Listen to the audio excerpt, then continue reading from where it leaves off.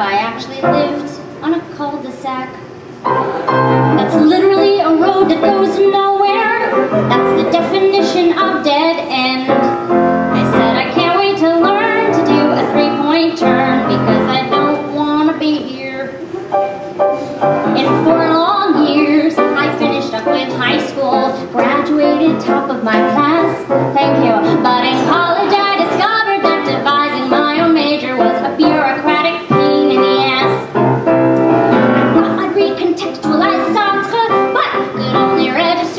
first year French. Ha! Well, you should have heard my mom when I dropped the bomb and said I don't want to be here. No, I don't want to be here now. I am not a negative person. It's just that I've always known that I had places to go, dreams to fulfill, and ideas to discover. They're just never where I am.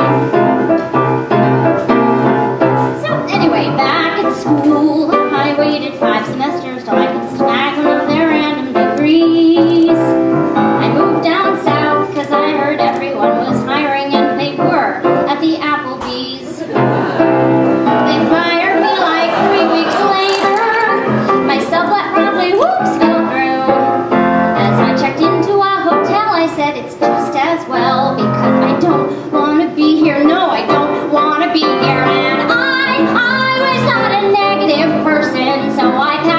my so I had no